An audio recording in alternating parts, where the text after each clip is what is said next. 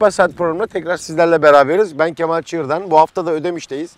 Ödemiş'e gelip de Doğu Friz ve Tayrova çekmeden olmaz dedik ve bu işin bu bölgede e, en iyilerinden biri olan Nihat abinin çiftliğindeyiz. Nihat Karcı'nın çiftliğindeyiz.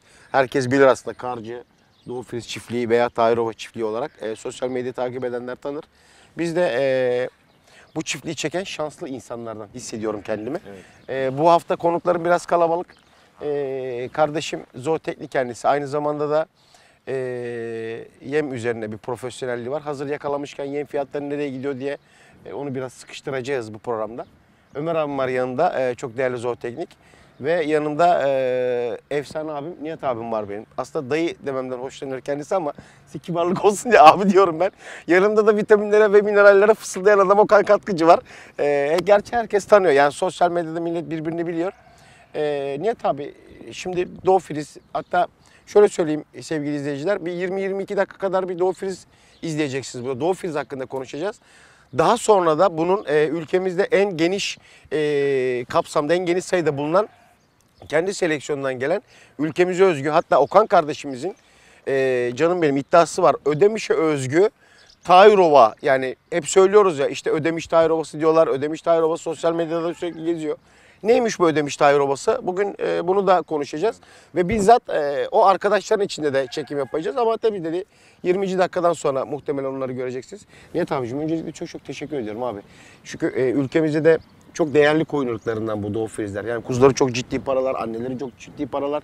Siz bunları çok ciddi paralara alıyorsunuz aslında yetiştirici Evet. olarak iyi gördüğünüz bir yerde. Ciddi paralara da veya edinmek isteyenlere de bunların alıcıları bulunuyor. Öncelikle ben tekrar tekrar teşekkür ediyorum damın kapılarını açtığın için. Biz teşekkür Nihat ederiz. abi şimdi e, daha evvel sığırcılığın vardı senin büyükbaş üzerine. Ha gerçi hala var arkamızda. Burada Hüseyin abinin orada çektiğimiz program gibi oldu. Bakın arkadaşlar yani burada büyükbaş da var. Küçükbaş da aynı yerde olabiliyor. Hatta bu küçükbaş mesela Hüseyin abinin orada birkaç hafta önce seyrettiğiniz programda merinoslar vardı. Hadi onlar biraz daha dirayetli. E, Doğu frizler e, hastalıklara biraz daha narin olmasına rağmen büyük başta aynı yerde bakılabiliyor. Ama tabii e, Okan abimin de o programda da söylediği gibi bir- biraz e, damların dizilimi, biraz bakım beslemesi ve doğru müdahalelerle Aşılamalar. aşılamalarla beraber e, ne sığıra bir etkisi var ne de e, sığırdan koyuna bir etkisi var. Nihat abicim yetiştiricilerimiz iyi kötü seni takip edenlerin çoğu biliyor. Senin Doğu Frizci olduğunu biliyorlardı. İşte bizi ilk defa seyreden arkadaşlar ya da bu Doğu Friz'i merak eden arkadaşlar hakkında. Doğu Friz'le alakalı şöyle küçük bir bilgi verebilir miyiz abi? Bu arkadaş necidir, ne yapar, e, neden bu kadar değerli? Ya da sen gerçekten büyük bir sığır işletmesiyken neden bunu bırakıp da süt sığırı işletmesiyken neden süt koyuculuğa döndün? Bununla ilgili bir de kendine ilgili biraz bilgi verirsen seviniriz Evet, abi. öncelikle hoş geldiniz. Hoş bulduk. Ee, daha önce 95 civarında büyükbaş sağımlı ineğim vardı. Ee, yem fiyatlarının ve girdi maliyetlerinin yüksek olmasından dolayı süt fiyatlarının düşük ol- olduğu için e, inekçilikten vazgeçmek zorunda kaldık. E, küçükbaşa yöneldik ve çok memnun oldum. E, ilk başta bir, birkaç Tayreo ile başladık. Sonra e, Okan Bey'in ısrarıyla Doğu Friz'e başladık. Evet. Ve Doğu Friz'den de çok çok memnunuz. E, geçtiğimiz 6-7 ay içinde Tayro'da topladım şimdi. E, kendim ayrı bir sürü yapıp e, mera olan bir yere Evet. taşınacağım. Orada e, Tayrova Üretim Çiftliği Anladım. adı altında devam edeceğiz nasipse. Doğu Frizleri bırakmıyoruz ama değil mi? O da- O, da Kesinlikle. apayrı, Doğu bambaşka Friz, bir şey. e, Doğu Friz meraya götürmeyeceğiz. Evet. Buradaki öbür damda butik olarak bakacağız. Şimdi Nihat abi, şimdi Doğu Friz'le bakıyorsun. Şimdi bu Ödemiş Tahir Ovası dediğimiz ırklarda da e, annelerinde de yanlış hatırlamıyorsam Okan'cığım Doğu Friz kanları bir tık daha e, diğer Tahir Ovalar oranla ya da insanların bildiği oranla bir tık daha yüksek. Evet kesinlikle kuyruklarına maya Ha, yani, olmaz bizim evet, burada. Evet daha yüksek. Şimdi Nihat abicim kıyas olmaz aslında bu konuda da. Hem şu Tahir Ova mı Doğu Friz mi gibi kıyaslamak aslında çok doğru bir soru da olmayabilir ama şimdi yetiştirici olarak mutlaka birilerinin artıları birilerinin eksileri mutlaka vardır. Şimdi e, bunu kıyaslayacak olursan çünkü sen ikisine birden baktığın için şimdi biz ne söylersek söyleyelim Evet. abi. Bilgi var ama bunlarla birebir haşır neşir olan insanlar değilim. Özellikle kendi adıma konuşayım ben. Ne gibi bir farkındalıkları var abi? Doğu Friz biraz daha e, nazik, e, çok ilgi gerektiriyor. Aşılarını, beslemesini çok iyi yapman gerekiyor. Ki ben bu sene biraz e, beslemede biraz hata yaptım. Ki Evet. gördüğünüz gibi koyunlarda zaten Yani e, süt çırklarda bunlar e, normal öyle. de Bir de biraz daha kuzu fazla olmuş. dönemine denk geldi. Evet. E, ama Tyrol biraz daha Doğu Friz'e göre daha dayanıklı, daha çünkü melez olduğu için daha e, dayanıklı bir hayvan. Daha şey değil mi abi? Evet. Yani böyle daha dirayet Daha gösterebiliyor. diğer, yani dirayetli. Okan abi e, da, biraz daha teknik soru soracağım Nihat abi. O yüzden Okan abime bir soru sormak istiyorum. Şimdi Nihat abi Doğu Filizlerle alakalı e, bir sürü şey geziyor bizde. Yani böyle şehir efsaneleri, işte dedikodu, gıybet, düz ara. Yani bilen de konuşuyor, bilmeyen de konuşuyor bu koyun ırkını. Daha teknik bir soru. Mesela bize gelen sürekli sorulardan bir tanesi. Bir, akciğer pneumoniye çok yatkın. İki, keneden ölüyor. Üç, sürü psikolojisi yok. Ee, ve çok hassas. Yani bu gerçekten söylenildiklerinin pik seviyede mi? Bir de şunu da sormak istiyorum. Ee, onun farkındalığını Nihat abiye sorup sana teknik sorusunu şu. Bunun bir de siyah olanı var. Şimdi gerçi 3-4 soruyu bir kere de soruyorum ama sen artık şey yaparsın. Bununla siyahıyla beyazı arasında söylenildiği gibi çok büyük bir fark var mı? Şimdi e, ilk önce başladığın sorulardan başlayalım. Doğu Filiz koyunlarda pnömoni rahatsızlığından bahsettik. Evet. E, şimdi vermeden almak Allah'a mahsus. Bizim ülkemiz biraz daha iklimsel olarak daha sıcak. E, Almanya, Hollanda ve Fransa bölgelerine göre. Yani daha sıcaktan kastım. E, ılıman daha evet, ılıman evet, yani. Evet. E, bu haliyle e, hayvanlarda buradaki e, stres faktörü veya e, evveliyatında burada yetişmediği için bir bağışıklıkla alakalı bir sorunlar ortaya çıkmış oluyor. Nasıl biz kendimiz bir yere gittiğimiz zaman yadırgıyorsak Evet. onlar da bir yere geldiği zaman alışma süresi daha uzun sürüyor. İnsandan Evet. farklı sürüyor. Burada da bunu alıştırırken de zooteknik koşullar dediğimiz refah ortamını, besleme ortamını oluşturduğunuz zaman e, bu gibi pnömoni veya atıyorum e, bronşit veya zatüre Evet, evet, tarzındaki evet. rahatsızlıklara fazla yakalanmıyoruz. Zaten bunları engelleyebilmek için de günümüzde bunların aşı kontrolleri var. Aşılarını yapabilirsek, besleme de stres faktörünü e, çok iyi o Organizasyon organize yapılırsa. edip de ortadan kaldırırsak pnömoni gibi rahatsızlıkları fazla kullanmayız. Ee, gelelim ikinci soruya işte e, keneden ölme Evet, evet, şuna evet. falan. Ee, bugün dünyada e, kenelerden kaynaklı Kırım Kongo kanamalı insanlar bile ölüyor. Evet. Yani bunu bir koyuna bağlamak çok e, absürt bir şey. E, bugün günümüzde her yerde, e, her koyunda, her köpekte kene var. Evet. Onların da kanını emiyor.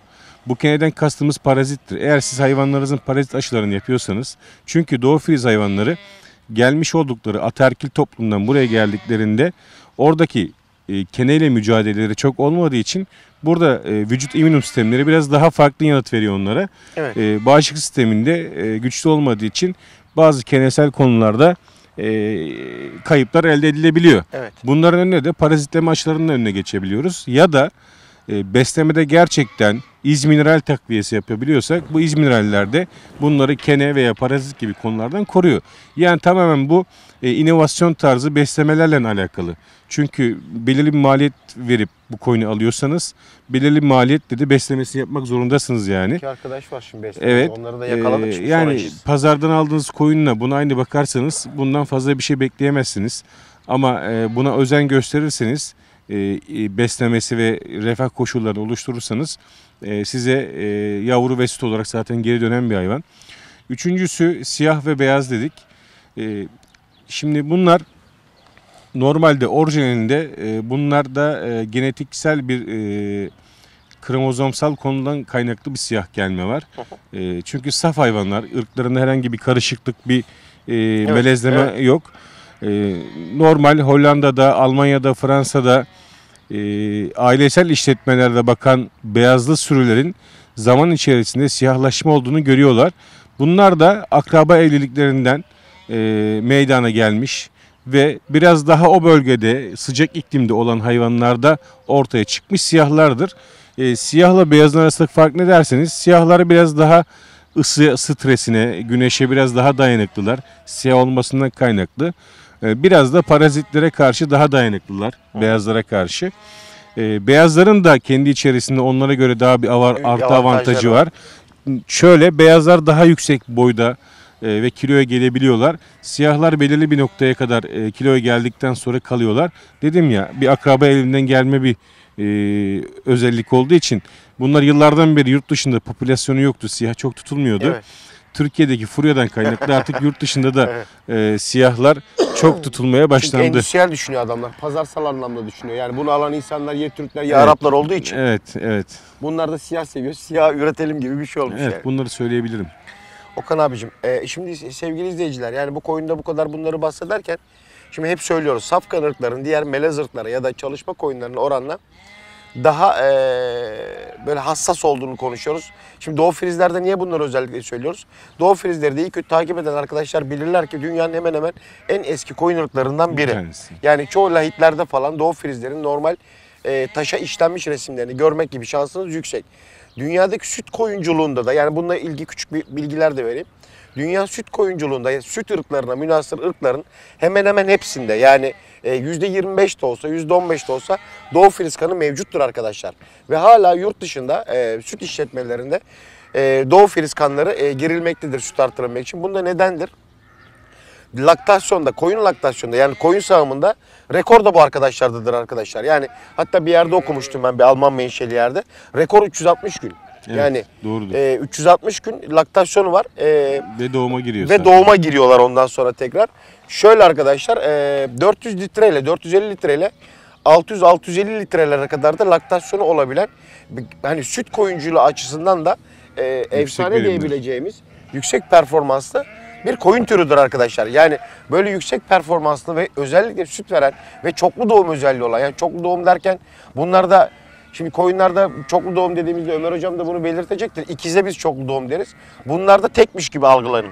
Yani yani bunlarda ikiz yapması hani bu sene tek doğur demek gibi bir şey yani. Çoklu doğum bunlar da gerçekten başarılı. 300'ler, 400'ler ve 500'ler süt performansları o kadar yüksek ki yaptığı çoklu doğumda da sütleri çok rahat bir de rahat bir yetmekte. şey daha eklemek istiyorum. Süt performansı dediniz ya. Şimdi üretici ilk defa bu işe başlayan arkadaşlar, üretici arkadaşlar işte 4 kilo veriyor mu, 5 kilo veriyor mu, işte 3 Evet, kilo veriyor mu diye evet. sorular soruyor. Arkadaşlar bunu soruyorsunuz da size arkadaşım bir tanesi 4 litre süt veriyor satabilir. Ama doğduktan sonra 4 kilo süt verebilmesi için yavrun emdikten sonra sizin onu ayrıyetten sağmanız, meme bezlerinizi geliştirmesiniz, Aynen. geliştirmeniz lazım. Aynen. Siz ne kadar çok sağarsanız o kadar süt üretecektir. Ve protein tarzı beslemeyle birlikte bu 3-4 litrelere çok iyi yaklaşabilirsiniz. Ne kadar sağdın o kadar çok meme bezleri gelişir. Aynen. Bu arada e, şöyle işte Yeni Zelanda ada koyunu, Hollanda'nın bir bölgedeki koyunu var. Belçika'da ve e, İsveç'te bunların melezlemesi sonucu elde edilmiş koyunlar var. Aynı Doğu Frizlere benziyorlar. E, önümüzdeki günlerde e, bu tarz koyun getirecekler, getirebilirler. E, üretici arkadaşlarımızı o konuda uyarıyorum. Gelecek hayvanların menşeleri Almanya olsun, Fransa ve Hollanda'nın Frizya bölgesi olsun. Diğer ülkelerden gelecek olan ithal Doğu Friz adında gelecek koyunlara aldanmayın. Onları alacağınıza gelin Ödemiş tipi Tayrova veya e, Doğu Frizli yüksek Tayrovalar alın diye söyleyebilirim. Aynı şeye geliyor hemen hemen. Şimdi Evet. Ömer hocam eee şimdi Doğu Friz dedik yüksek performanslı hayvanlardan bahsettik. Yani bunları genellemek açısından da konuşuyorum şimdi. Evet. Ee, bir hayvan beslemeci olarak. Aa, bunlar çok önemli ve çok değerli ve performansları yaptığı göreve oranla. Yani işte etse et, süsse süs. Biz Doğu Friz konuştuğumuz için sütten bahsediyoruz. Evet. Ee, şimdi yetiştiriciler şey zannediyor. Ben bunu örnek veriyorum. Nihat abiye geldim. Kaç litre süt veriyor? Şimdi Nihat abinin bakımı ayrı, beslemesi ayrı. Nihat abi de performans pikte. Örnek veriyorum 3,5-4 litreler kadar süt veriyor. Nihat abiden bunu aldıktan sonra adam bu 2-2,5 litreleri düşüyor ve koyun zayıflamaya başlıyor. Nihat abi de 4-4,5 verirken performans aynı. Ama sonra adam da daha az süt ve daha e, performans düşüklüğü. Şimdi beslemeye bağlayacağım aslında ben konuyu. Bu tarz yüksek performanslı hayvanlarda özellikle hatta bu haftaki konumuz süt koyunculuğu olarak algılıyoruz. Bakım beslememizde nelere dikkat etmemiz gerekiyor abi? Laktasyonda ve e, şeye hazırlarken, e, koça hazırlarken. Yani şimdi e, aslında kuru dönemden başlıyoruz. Yani nasıl inekte e, son 60 günde e, dikkat edip son özellikle 30'da e, daha da e, ilgi gösterip doğuma hazırlıyorsak hayvanı. Koyunda da e, 4. aydan itibaren, gebeliğin 4. aydan itibaren e, dikkatli bir şekilde doğum hazırlamamız lazım. Ne çok fazla yedirip ne az yedirip çok fazla yedirdiğiniz zaman kuzu içeride büyüyor. evet. Ee, az yediğiniz zaman da kuzularınız küçük kalıyor.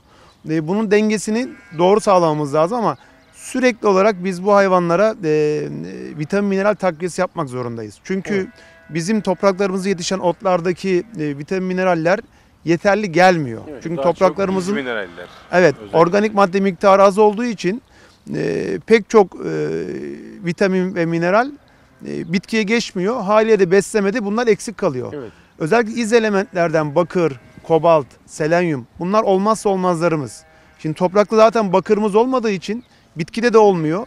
Ama hayvan metabolizmasında bakır e, elzem. Yani yoksa e, üreme yok. Yoksa yapağı yok. Evet. E, biz o yüzden bunları dışarıdan takviye olarak gerek e, oral yolla verebiliyoruz. vesaire. veya enjekt e, kas içi, deri altı uygulamalarla veriyoruz.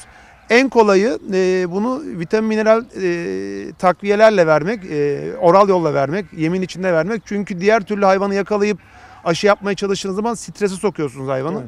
E, Doğu filizler nispeten e, strese yatkın hayvanlar. Evet. Büyük sürülerde de çok fazla e, birlikte olmak istemiyorlar.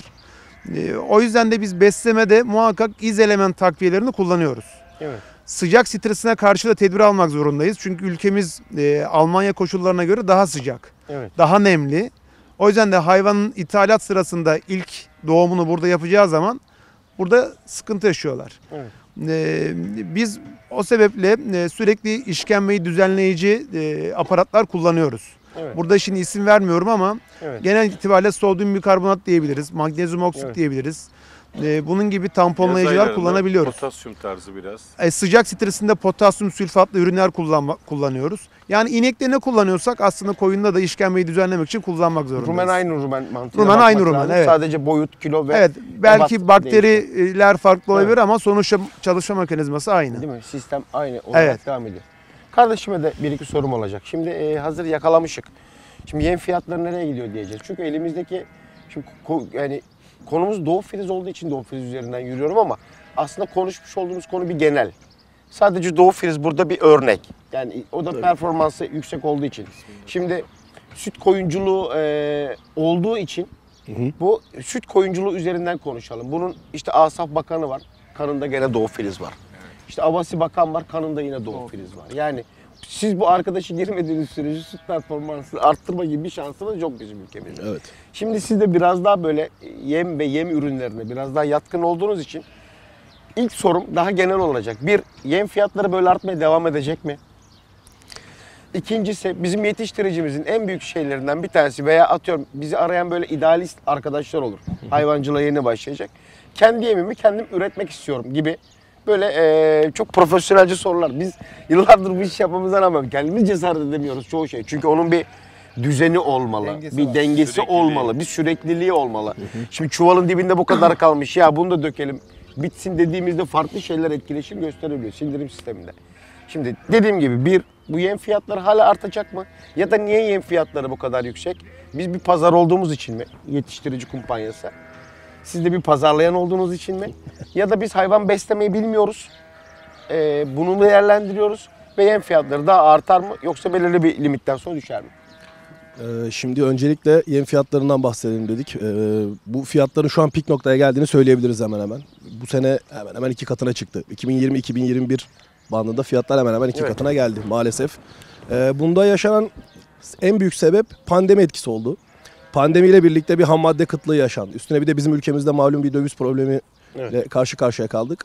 Bu vesileyle fiyatlar arşa çıktı. Hiç düşmesini beklediğimiz yerlerde kademeli düşüş de gerçekleştiremedik maalesef. Ee, nereye gideceğiyle ilgili kimse tam olarak bir şey söyleyemez benim fikrim. Kesin bir şey söylemek çok zor ama benim görüşüm hemen hemen pik noktalarında diyebilirim yani. Ee, diğer açıdan da e, diğer sorumuz Evet. Şeydi e, yem yapmak. Kendi yemini Kendi yemini, kendi yemini yapmak. Şimdi e, tamam kullandığımız tahıllar aşağı yukarı hep belli ürünlerde yapıyoruz biz bunu. Belli ham maddelerle gerçekleştiriyoruz ama bu ham maddelerin arkasında bir laboratuvarda bir analiz aşaması var. E, belli değerler var. Bu değerleri sürekli tutturup belli bir standartta beslememiz gerekiyor bu hayvanları. E, bunu yapmak için de tabii bir altyapı oluşturmak lazım. Bir bilgi birikimi lazım. E, burada basitçe birkaç çuvalla yapabileceğimiz bir işlem olduğunu ben düşünmüyorum. Yani eğer beslemede e, ufak tefek aksaklıklar, çok küçük nüanslarla, nem hesaplarıyla ya da ne bileyim toksin farklarıyla bir aksaklık oluşturursak bu hayvanda üremeyle ilk önce bizim karşımıza çıkabilir ya da besleme aksaklıklarından kaynaklı hastalıklarla karşımıza çıkabilir.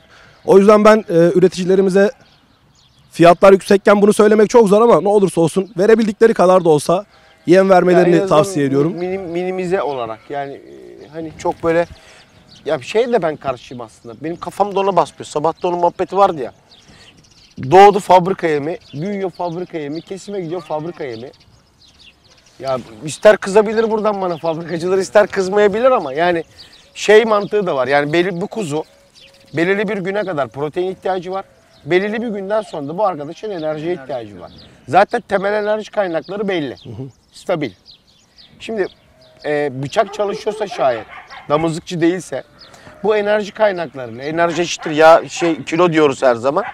E, bunlarla beraber ufak tefek peribiyotik katkılarla falan vesaire e, bunu devam edebilirler. Yani fabrika yemine çok bağımlı kalmalarını düşünmüyorum. Anaç olarak bakan arkadaşlar da doğru kaba yemle, doğru kaba yemlerle e, çünkü neticede biz ne diyoruz abi? E, kalitesiz ot grubunu yenilebilir yüksek proteine çevirebilen varlıktan konuşuyoruz koyundan. Evet. Bu doğada kuzu büyütme yemiyor. Süt yemi de yemiyor bu arkadaş. Ot ve ot ürünleri yiyor. Ha, Ömer hocam da az önce dedi bizim dedi doğamız şey e, vitamin mineral olarak kısıtlı. Ufak ufak işte e, katkılarla, premixlerle, preparatlarla bunu tavsiye takviye edilebilir diye düşünüyorum ama bayağı bana da bu konuda kızacaksın. Bunda Yok, senin e, fikrini de merak ediyorum.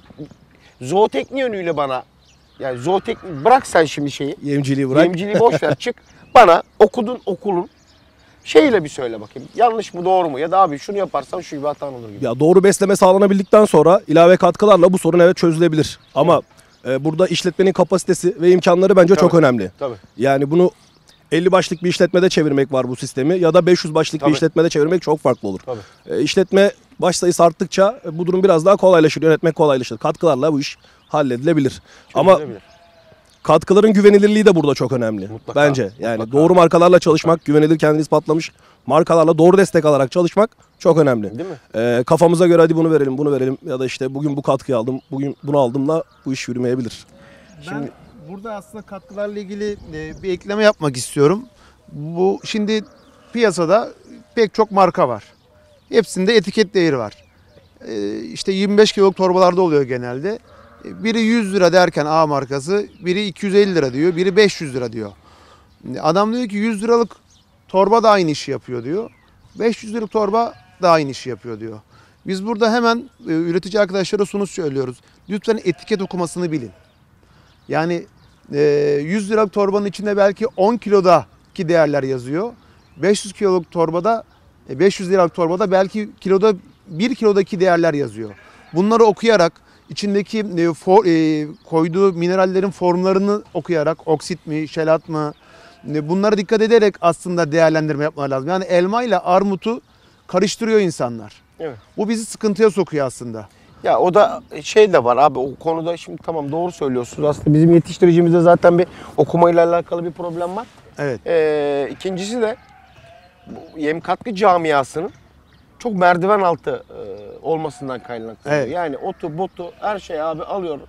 Kiremit tozunu, miremit tozunu öbidik gubidik şeyle karıştırıp karıştırıp veriyor yani. Evet. Bu bundan kaynaklanıyor. Şimdi sen bir tarafta 5 lira istiyorsun, öbür tarafta 0.50 kuruş gibi rakamlar. Renk aynı, Evet. ebat aynı ya da basıldığı kalıp aynı veya kovası aynı. Evet. Ama e, içindeki Yani şey çok önemli. mesela en basitinden yalama kovasından örnek verelim. Yalama kovaları herkesin e, iki türlü yalama kovası var. Biri kristalize, biri karamelize.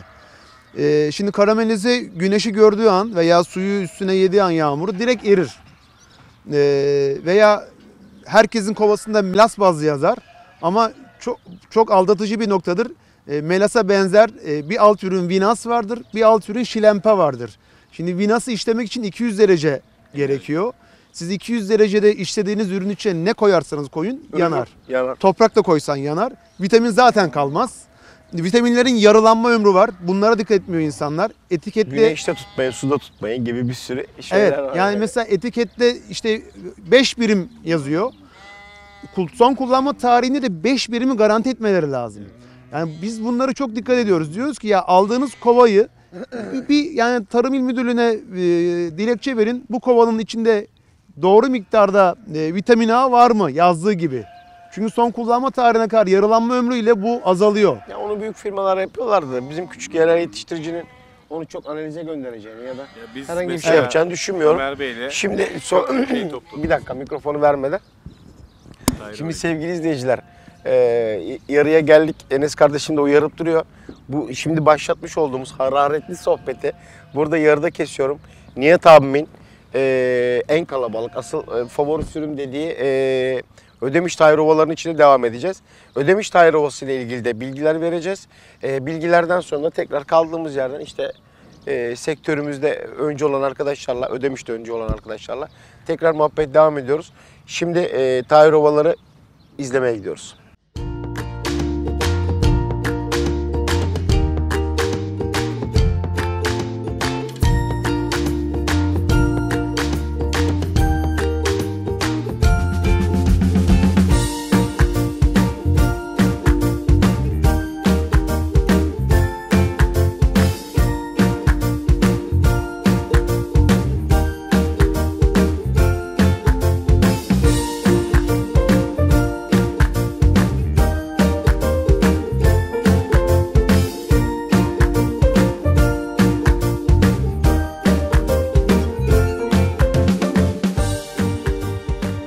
Evet sevgili izleyiciler şimdi e, mekan değişti, yer değişti. Bahçeden içeriye geldik. Açılışta da dediğimiz gibi Doğu Friz ve Ödemiş Tahir Ovası çekeceğiz diye düşünmüştük. Nihat abim de bu Ödemiş Tahir Ovası'nın başarılı ve kalabalık sürüsü olan işletmelerden. E, Ödemiş'te de bunlar yer yer bulunuyorlar ama çok böyle minimize daha hobi tarzı. Böyle sürü bazında ve kalabalık olarak e, Nihat abim de Nihat Karcı da mevcut Ödemiş'te. Şu anda arkadaşlar e, ekranda da görüyorsunuz. E, Ödemiş Tahir Ovası'na çok güzel bir örnek. Ödemiş Tahir Ovası'na çok güzel bir örnek. Damızlık kuzularımız var. Damızlık anne ve damızlık kuzularımız var. Şimdi damızlık kuzularda e, ve annelerde bu tarz formlara çok aldanmayın arkadaşlar. Yani bunlar dediğimiz gibi süt çırklar. E, Nihat abim de açılışta dediği gibi küçük bir hata yaptık ufak tefek. Bunlar hataların Evet, sonucu. Toparlar mı? evet. Efsane hallere gelir. Çok hızlı toparlar. Şimdi Nihat tüylü olmuş olsa daha güzel. ya bambaşka olur da şimdi hani biz e, kırktık yani Nihat abim dün kırktırdı bunları. Ben dünden beri buralardayım arkadaşlar. Hem görsel anlamda daha kolay gö- görebilin e, anlamına da kırkıldı aslında bunlar. Bir yerde bizi sağ olsun hani kendi çok bir şey yapmadığı için bizi kırmadı, kırttırdı. e, daha net görebilelim diye. Yoksa işin gerçekten ticari anlamda, ticari boyutunu düşün olmuş olsa bunları kırttırmaz, daha büyük gösterebilirdi. Ama Nihat abim çok çok sağ olsun. Şimdi Nihat abicim önümüzde senin elinde özellikle efsane bir damızlık diş kuzumuz mevcut abi. Evet. Biraz bahseder miyiz? Yani bunu diğer Tahir ovalardan ayıran yetiştirici nelere dikkat etmeli? Yani bunun adı neden ödemişe münasır bir koyun olarak kaldı? Evet. Bu Ödemiş'e özgü bir Tayrova. Ee, Doğu Friz'e hemen hemen yakın bir kuzu. Ama değil değil mi? Değil tabii ki. Kesinlikle Ödemiş Tayrovası. Ama piyasada bunları Doğu Friz diye görebilirsiniz. Ama kesinlikle değil. Bu bir Tayrova. Ee, yüz yapısına bakarsanız. Evet şöyle, Şöyle. şey yapayım. Şöyle bir gösterelim. Evet. Arkadaşlar ince görebiliyor musun Enes'ciğim? Yüz yapısını biraz daha. Evet. Şimdi şöyle bir Şimdi- arkadan da gösterelim arkadaşlar güzel bir yapısına örnek. bakarsanız Kuyruk yapısı. Doğu Friz'in hemen hemen özelliklerini taşıyan bir e, Tayrova. Evet. Elimizden geldiği kadar e, kaliteli, düzgün bir üretim yapmaya çalışıyoruz. İnsanlara faydalı olmaya çalışıyoruz. Nihat abicim bunu normal klasik bildiğimiz tipik tayrovalardan mesela ayıran tamam kuyruk dedik, kafa dedik, vücut Evet. performans dedik. Ne var mesela sana göre? Bunlarda ikizlik, üçüzlük oranı çok yüksek. Mesela bu kuzu Normal Üç. tayrovaları anla değil Tabii mi? tabii. Ee, üç ekiz eşi bu. Ee, iki tane de dişi kardeşi var bunun. Ee, ırk olarak, genel olarak e, daha yüksek. Bildiğimiz Tayro olarak. göre. Anladım. Evet. Anladım. Şimdi biraz daha teknik konuyu da aslında Okan abime sormak istiyorum. Nihat abicim o mikrofonu Tabii verirsek. ki. Okan abi, şimdi bu ödemiş tayro olsa Efendim? senin en büyük katkılarından biri sende. Sağ estağfurullah. Hani e, bir markalaşma değeri ya da bir markalaşma. Gerçekten bunu sanki farklı bir koyun ırkı. Senden bunda bu konuyla ilgili ökter olarak da ökterde yönetimde olduğunu biliyorum. Şey bekliyorum abi senden e, bunun tescillemeni ya da tescilletmeni bekliyorum. Gerçekten bunu koyunculuk camiasına dün de bahsettik. Hani çoğu melezleme yapıyoruz, çoğu işte şey yapıyoruz ama belirli bir sayıdan sonra tıkandık. Sanki bu başlı başına münasır bir e, şey alındığında, ayrı bir ırk alındığında görülebilir. E, bunların ikisi kardeş değil mi abiciğim? Şimdi Okan abi e, şunu söylemek istiyorum ben. Bunu e, nasıl elde ettik? Yani bundaki e, seleksiyonumuz nasıl? Şimdi e, sevgili Kemal'cim e, bayağıdan beri yaklaşık 4-5 yıldan beri e, bunu söylüyoruz Ödemiş Tahir Ovası diye. Evet. Bunu söylemekteki kastımız şöyle. e, daha öncelerde e, bu duofriz meşhur olmadan önce her bölgede Tahirova diye satılan koyunlar Tahirova değildi. E, çünkü Tahirova'nın genotipinde %25 kıvırcık kanı, %75 duofriz kanı var. Ama daha diğer bölgelerde de Doğu ile diğer yerel ırklar melezlenerek çıkan koyunlara Tayrova dedikleri için e, kuyruk tipi, göz tipi, kulak tipi, burun tipi, boy tipi bunlara uygun olmadığını biz e, gördük fuarlarda veya gittiğimiz yerlerde. Kendi Ödemiş'teki Tayrovalarımızı bundan ayırabilmek için adına Tayrova, Ödemiş tipi Tayrova diye koyduk. İlerleyen yıllarda da normal Tayrovaları gördükten sonra tekrardan Ödemiş tipi Tayrova'nın daha pembemsi ve kırmızımsı yüz tipine ve sütünün daha yağlı olduğuna, e, diğer Tayrovalara göre daha boylu posta olduğunun e, kanaatine vardık. Ve bunun çalışmalarını yaptık. Ödemiş Ticaret Odası ve Ökter Küçükbaş Derneği ile birlikte Başkan Murat Çansız, yönetimindeki arkadaşlar, ben Nihat abi, Ömer abi, diğer arkadaşlarla beraber, Murat abi, Eren kardeşim, İrfan amcamla beraber Ticaret Odası Başkanımızla görüştük. Kendisi de bu konuda bize coğrafi etiketleme işareti konusunda, tescillenmesi konusunda sınırsız destek verdi. Çok teşekkür ederiz kendisine. Ee, Ödemiş Belediyesi'ne de bu konuyu konuştuk. Ben şimdi arkadaşlara Ödemiş tipi Tayrova'dan kastımız nedir? Normal bu koyunu başka yerde ya Doğu Friz diye satarlar ya da Doğu Frizli yüksek Tayrova diye satarlar.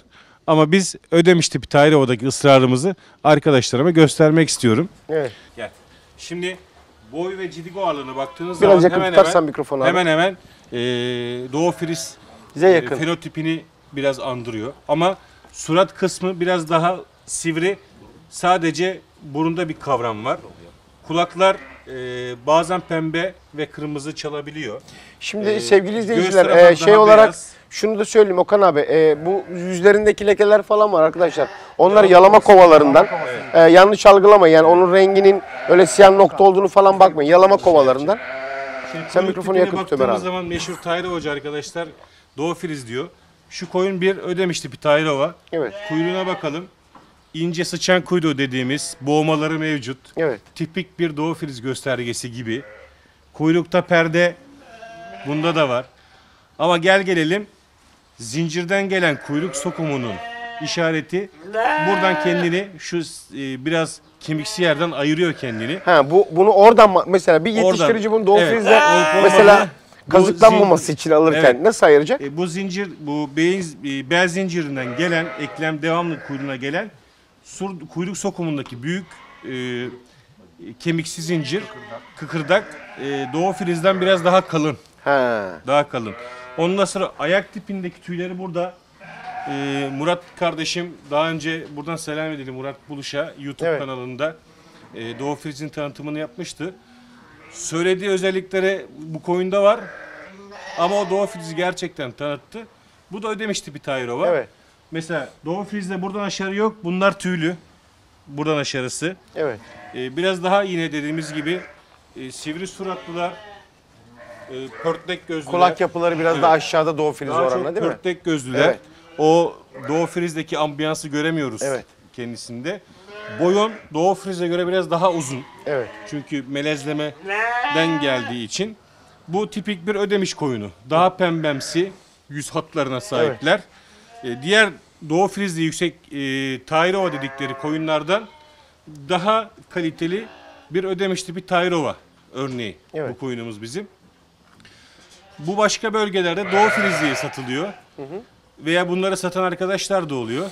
Yani üreticilerimize bu konuda hani F1 melezi, F2 melezi, F3 melezi diye işte sosyal medyalarda yazılıyor. Şimdi arkadaşlar F1 melezi, F2 melezi, F3 melezi, G1, G2, G3 dediğimizde bu bilimsel seleksiyon çalışmasıdır. Üniversite koşullarında veya halk elinde ıslah projelerinde gibi konularda F1 çalışması yapabilirsiniz. Çiftliğinizin bir e, üniversite zooteknik bölümünden destek alması gerekir ki sizin F1, F2, F3 gibi de bilmeniz için. Yoksa ben bunu bu koç kattım, F1 bunu kattım, F2 diye bir şey yok. Çünkü çıkan her koyunda fenotip veya genotip özelliklerini çıkan kuzularda ayırıp tekrardan başka bir koçla salıyorsunuz. Bu da bilimseldir. Koçun ölçümlerini yaparsınız. Kaçacak olduğunuz koçun. e, işte testosteron ölçümlerini yaparsınız. Sperm ölçümlerini yaparsınız. Parazit aşılarını, diğer aşılarını kontrol edersiniz. O şekilde F1'leri, F2'leri, sağlıklı e, ürünler elde edebilirsiniz. Yoksa e, kolay bir F1, F2, F3, F5 olmuyor yani. G1, G2 2 dediğimiz geriye teknoloji olmuyor. Ama e, ödemiş tipi Tayrova kendi özelliğinle e, uzun yıllardan beri var. Biz burada Nihat abinin orada da ödemiş tipi Tayrova beslemeye karar aldı. Bunu tekrar kendi büyük merasa oraya götürecek. Orada bu koyunu üretecek. Anladım. Üretici arkadaşlar kendisine buradan ulaşabilirler. Değil mi? Yani ve çok hoşuma gitti. Yani şey olarak yapı olarak da abi çok farklı. Çünkü e, şimdi sen mesela daha önce biz geldik burada. Sen de bir programda çektik Evet. Nihat abicim. Evet. Şimdi burada aslında yani diyeceksiniz ki dönüp dönüp niye Nihat abiye geldik?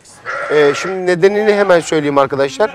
E, az önce de bahsettiğiniz gibi Ödemiş Tahir Ovası'ndan bahsediyoruz. Bunun ve kalabalık ve doğru örneklerini bulabileceğim yerler. Ben sürekli dikkat ederseniz programlarımda hep örnek olabilecek ve örnek olması gereken işletmeleri çekiyorum. O da bu da burası da bu ırkla alakalı ve Doğu Filiz'le alakalı bu bölgelerde örnek bir işletme. Evet. Ee, şimdi Nihat abi ve bu koyunlardaki hedef sayın ya da hedefin belli mi abi? Yani ben bu kadara ulaşmak istiyorum ya da şunu da sorayım. Şimdi e, Doğu Filizler'de diyoruz ya şey yok. Ee, sürü psikolojisinin çok iyi olmadığını. Evet. Ee, ve bunlarda da Doğu Filiz kanı yüksek. Peki bunu asimile edebilmiş miyiz, e- edebilmişsiniz mi bu bir çalışmayla da? Yani bazında Aslında bakılabiliyor mu? e, Doğu Frizler'de sürü psikolojisi yok derken bence yanlış yapıyoruz. Çünkü Türkiye'de e, 20'nin 30'un üzerinde Doğu Friz sahibi olan kaç kişi var ki bu sürü Ondan dolayı mı psikolojisini biz biliyorsunuz. şey diyoruz yani, yani sürü nerede Ya bu denedik? ki? literatürlerle falan okuyor. Yani- o s- aslında orada kullanılan Yani Türkiye'de tanım nerede yanlış. denedik ki? Başka Tanım yanlış. Heh, evet. Şimdi bir sürü psikolojisi yok da bak bu- bunun aynı cemeresi Evet. Şarol'e de çekiyor abi. Evet. Onda da diyorlar sürü psikolojisi yok. Şimdi ben programlarda da söylüyorum ya sürekli abi farklı farklı koyun ırklarını siz bir yerde salıp mereye salamazsınız. Bunun otlama stili başka, Şarole'nin başka, Doğu Filiz'in başka. Kesinlikle. Biri gider, biri durur, biri bilmem ama hepsi aynı bir şekil içinde. Şimdi Avrupa'da bunun 200-250 örnekleri var. Evet. Ama hepsi Doğu Filiz.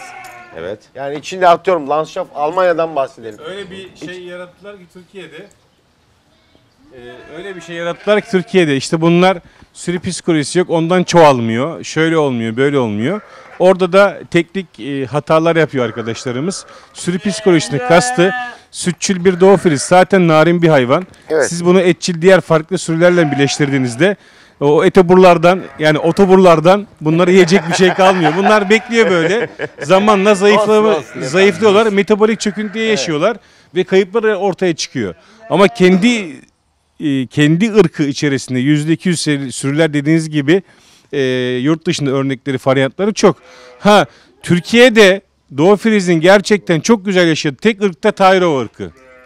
Çünkü %75 geni Tayrova'nın bunlardan geldiği için ortalama bir sürü psikolojikte bir frekanslarını yakalıyorlar yani.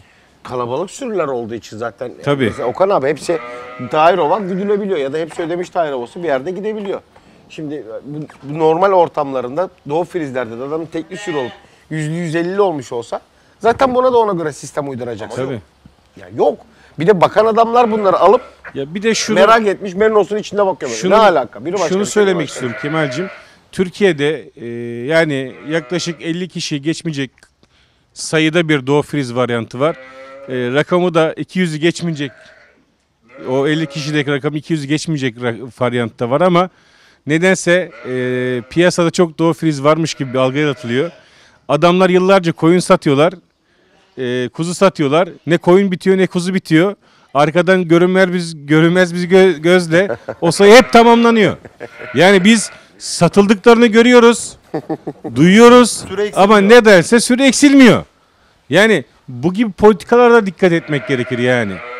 Bakımları çok hassas mı Okan abi ya? Onu sorayım. Yani milletin anlattığı gibi Ya bakımdaki Allah'ım bu hassaslık bunu yememeli, şu. şu şunu yemeli gibi mi? O çok bir kere absürt bir şey. Bakımları hassas değil. Sadece e, gerektiğini ve istediğini verebilmek yani. Şimdi e, diğer ırklara göre daha nazik dedik ya. Daha çok otçul hayvanlar bunlar. Otçulla Türkiye'deki otla yurt dışındaki ot kalitesi aynı olmadığı için biz bunu tahıl gruplarıyla fabrikasyon yemlerle tamamlıyoruz. E, belirli stres faktörlerinden kaynaklı da iz elementlerini verdiğimiz takdirde e, bir nazikliği kalmıyor. Çünkü düzgün bakarsan doğuma Ömer Bey'in dediği gibi hazırlarsan hayvanı doğumdan sonraki kaybettiği negatif enerji dengesini tekrardan yerine koyarsan parazitlerini güzel yaparsan Evet. aşılamalarını güzel yaparsan zor diye bir şey yok yani. Ya Yani bir etçil bir koyunla benzetiyorlar. Bir adam illedi Fransız bakmış, işte diyorum Suffolk bakmış, Charolais bakmış. Onunla kıyaslıyor. Yani yanlış. Etçil koyunla sütçül koyunu ya kıyaslamak yanlış. ya, Ona göre tabii daha şeyler. nazik yani. Tabii bambaşka şeyler. Yani sen şimdi şu Ömer abiye sormak istiyorum. Şimdi Ömer abi Ee, az önce Okan abi de harika bir konuya yetişti. Sen de bir zootekni olarak. Bizim ülkemizde örnek veriyorum. Hala farklı farklı. Adam atıyorum Fransız bakmış, Suffolk bakmış. Mera'daki konsepti bambaşka bir şey bu arkadaşların. Damdaki konsepti de bambaşka bir şey. Bu adam pat ya ödemiş Tahir Ovası ya da Doğu Friz'i dönmeye çalışıyor. Ama onlara da aynı kavramda bakmaya çalışıyor. İllo Fransa baktığı gibi Baktığı bakmaya gibi bakmaya çalışıyor. Ondan sonra diyor ki hassasiyetten falan bahsediyor. Burada insanlar gerçi bir önceki soruyu da sordum aslında. Neye dikkat etmeli diye. Daha ziyade orada vitamine minerale girdik. Besleme anlamına mesela neler yapabilmeliler? Evet, şimdi düşünüyorum ben. doğumdan sonra bu hayvan hızlı süt vermeye çalışıyor. Neden? Çünkü kuzusunu büyütecek. Ama biz de aynı zamanda bu hayvanı sağmaya çalışıyoruz. Tabii bir taraftan da. yi- yi- zaten yeme kapasitesi o anda hayvanın yüksek değil. Çünkü 200-300 kuzuyu bakarken içeride işkembe daralıyor ve ufaldığı için yem yeme kapasitesi düşüyor hayvanın doğumdan sonra. Biz bunu hızlı yükseltmek istiyoruz ama e, teknik olarak bu yavaş yavaş Evet, işkembe yükselme. gelişiyor, e, genişliyor. E, o sırada da süt, süt verimini artırmak istiyoruz. Yükleniyoruz hayvana. Bu sefer e, hayvan ya hızla yağlarını eritiyor, ketosise dönüyor. Ya da e, verim kaybından dolayı bu hayvanda işte e, sütü az diyorsun, sütü yükselmedi diyorsun. E, hayvana e, küsüyorsun, bakmıyorsun. E, biz doğumla birlikte yüksek enerjili e, yem takviyeleriyle, yemlerle, e, silaj silajla e, hayvanın e, vereceği süt miktarını hızla artırmak istiyoruz. Çünkü bu sırada eğer e, vücudundaki yağlar erimeye başlarsa, yağ mobilyasyonu olursa e, hayvanı uzun süre toparlayamıyoruz. O yüzden de biz e, sütçü e, ırklarda silaj doğumla birlikte veriyoruz. E, kaliteli kaba ot diyoruz her zaman. Kaliteli kaba ot e, doğumdan önce bir kere asla yonca vermiyoruz. Lütfen hani ben hayvanıma iyi bakıyorum deyip de doğumdan önceki o 20-25 gün 30 günde hayvana yonca verip de hayvana ihanet etmeyelim. Değil mi? Doğumdan sonra evet yoncayı verelim. Yani her dönem yonca verilir diye bir kural yok. İyi bakıyorum, iyi kaliteli ot veriyorum deyip de her dönem hayvanın her döneminde yonca verilmez. Efe kardeşim Efe senin kardeşim. de son e, malum yem fiyatlarıyla seni biraz sıkıştırdık belki. Biraz da hani patronların nezdinde seni zora sokuyoruz ama bunlar da yetiştiricilerin gerçekleri. Paşam senin son söylemek istediğin hani bu yetiştiricilere buradan bir mesaj anlamında. Vallahi Ömer Bey'in son söyledikleri gayet doğruydu. Özellikle yetiştiricilere benim tavsiyem bir şekilde alternatif yem kaynakları Değil mi?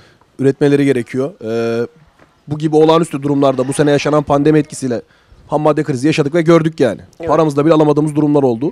Ee, bir şekilde hayvanları beslemenin alternatif yollarını bulmamız gerekiyor. Su kaynaklarımız da kısıtlı. Evet. Ee, yetiştirici- yetiştiricilerin de sürekli araştırması, üzerine gitmesi gerekiyor yeni kaynakların. Ee, ektikleri ekinlerde, yemlik bitkilerde mutlaka işte turşusunu yaptıysa çağırsın yemcisinden numunesini almasını, analiz ettirmesini istesin. Ee, elindeki ham maddenin değerlerine göre bir rasyon yaptırsın. Çünkü çiftliklerin elindeki ham maddelerin değerleri birbirine tutmuyor. Aynı yerde ekim yapsalar bile mutlaka farklar oluşuyor. Ee, doğru beslemeyle bir şekilde bu zor günleri de atlatacağımızı düşünüyorum. Son mesajımız ne olsun? Ee, yaptığımız işi doğruluk, dürüstlük ve hakkıyla yapalım. Severek yapalım. Severek Efsane. yapalım. İnsanları kandırmayalım. Amacımız Çünkü bu zaten. Bir sürü örnek verdik değil mi? Emeklerini harcayıp paralarını biriktirip sizden damızlık hayvan alıyorlar. Ee, onların e, kazandıkları paranın e, günahını girmemek lazım. Öbür dünyayı da Yaptığın işi düşünmek lazım. e, yani. öbür dünyaya düşünmek lazım. Yaptığın işi hakkıyla doğru üreterek yapmanız lazım. Ve ülkeye de faydalı olmanız Ağzına lazım. yüreğine sağlık. Okan kardeşim. Söyleyece- söylemek istediğim e, üretmek, küçükbaş üretmek demektir. Üretmek, var olmak, bağımsız olmaktır. E, küçükbaş üretici arkadaşlarımıza sahip çıkalım. E, onların kullanmış olduğu, e, üretmiş olduğu ürünlerden e, faydalanalım, talep edelim. Küçükbaş üreticisini ayakta tutalım ve küçükbaş üreticisi de e, gelişen kültürüyle Türkiye ekonomisine ve Türkiye'nin gelişmesine, kalkınmasına her zaman e, destek olmuştur ve olacaktır diyorum. Çok teşekkür ederim Okan arkadaşım. Şimdi sevgili izleyiciler e, programın da sonuna giderken ben her zaman söylüyorum. Üretmekten korkmayın. Ee, üretirsek var oluruz.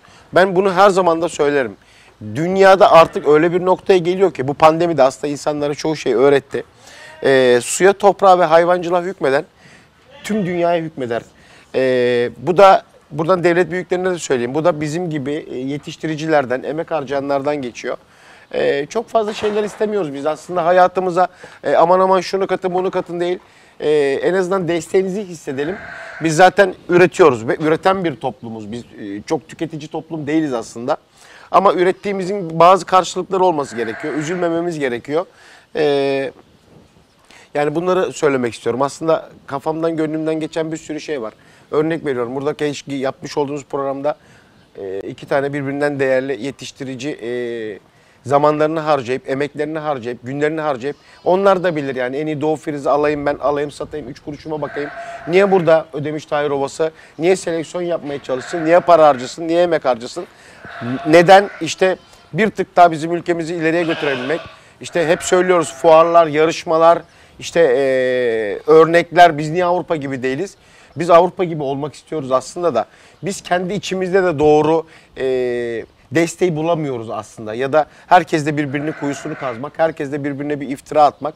Nihat de gerçi noktaya efsane bağladı. Yani yazık günah. İnsanlar 3 kuruş paralarını biriktirip sizden damız kalmaya çalışıyorlar. Lütfen onu da e, layıkıyla yapmaya çalışalım. Bizim gibi insanlar olsun, diğer abiler olsun. E, bunun öbür tarafı da var diye düşünüyorum ben.